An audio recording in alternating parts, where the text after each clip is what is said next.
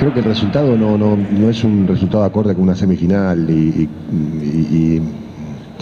la historia de esta Copa eh, no indica que haya esta diferencia, por lo menos hasta ahora, pero bueno, el fútbol tiene estas cosas.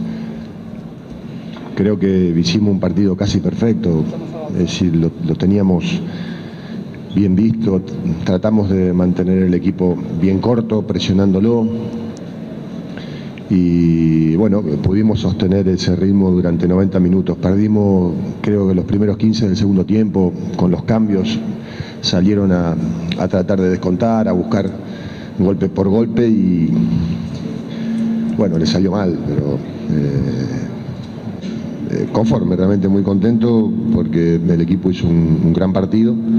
Bueno, nos falta el, el 50% que vamos a empezar a trabajarlo desde el viernes. La idea nuestra era tratar de hacer una, buena diferencia acá de local, pero no nos imaginábamos un resultado como, el que conseguimos. Pero bueno, hay que estar tranquilo, saber que todavía quedan 90 minutos en una cancha muy difícil, contra un rival que juega bien. Así que bueno, todavía la, la llave no está definida y tenemos que ir con la misma mentalidad que, jugamos ahora. La verdad que corté una pelota justo en el medio y levanto la cabeza y lo veo a Villalba que me la pide por afuera y me pica y veo que los defensores se fueron todos con él. Y bueno, la adelanté un poquito y veo que no, que no me salía nadie. Decidí pegarle y bueno, en el momento que, que le pegué sabía de que iba a entrar porque la agarré justo con el, con el empeine. Así que bueno, muy contento. En ningún momento se replegó atrás, siempre intentó jugar, nunca jugó el pelotazo.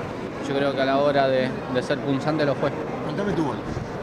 No, una pelota que robo en el medio, tocó con cautelucho, me devolvió la pared y me quedó ahí para definir, gracias a Dios lo pude hacer bien. Pero son varias las que por ahí uno va, va y, y no, y no le llega y te llegó justo.